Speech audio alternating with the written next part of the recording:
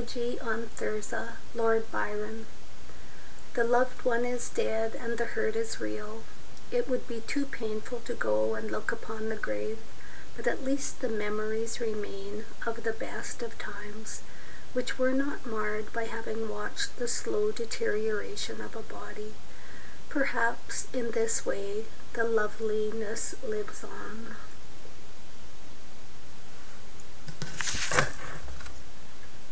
Elegy on Thyrza. And thou art dead, as young and fair as aught of mortal birth, and form so soft and charm so rare, too soon return to earth.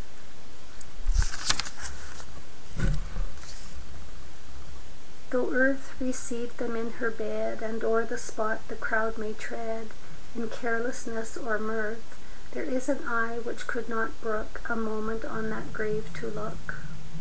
I will not ask where thou liest low, nor gaze upon the spot. There flowers or weeds at will may grow, so I behold them not. It is enough for me to prove that what I loved and long must love, like common earth can rot.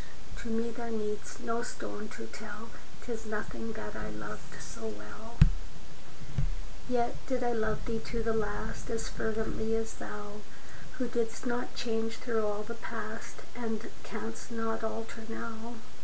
The love where death has set his seal, nor age can chill, nor rival steal, nor falsehood disavow.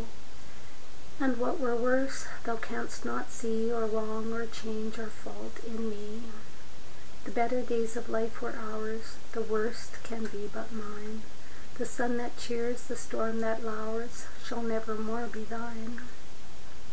The silence of that dreamless sleep I envy now too much to weep, nor need I to repine that all those charms have passed away I might have watched through long decay.